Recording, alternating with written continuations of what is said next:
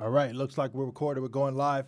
So, on this particular one, welcome back, Justin R. Harris. Business solutions solved every day, digging right into it. So, we're talking about focusing on excellence from the Peter Drucker's book, The Daily Drucker. All right, like I said, YouTube is down in the description below. Click the link if you want to get the book and follow along. You know, we also dropped this information for this business series across uh, Facebook, and um, LinkedIn, and uh, just trying to put it all the way out there. I think I also um, advertised it on Twitter as well. You know, trying to improve with the marketing and get it out on all these different platforms. So let's dig right in. You guys know what it is. So, a valid definition of the specific knowledge of a business sounds simple. Deceptively so, he says. It takes practice and regularity to do a knowledge analysis well.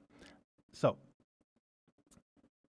when it comes into business and being able to figure out what it is that you're structuring and put together is what he's saying. So, you know, he wants you to be specific about the knowledge that you have with the business that you're getting into. So, just to break that first sentence down so people understand, the first analysis may come up with embarrassing generalities such as our business is communications or transportation or energy, right? The general terms may make good slogans, right, for a salesman's convention or something, but to convert them into operational meaning, that is, to do anything with them, it is impossible but with repetition, the attempt to define the thing with them is impossible.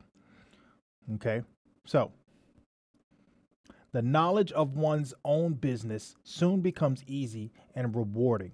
Few questions force a management into as objective as searching, as productive as a look at itself as the question, What is your specific knowledge? Okay. No company can excel in many knowledge areas. A business may be able to excel in more than one area. A successful business has to be at least complete in in a good many, right, of knowledgeable areas in addition to being excellent in just one, right?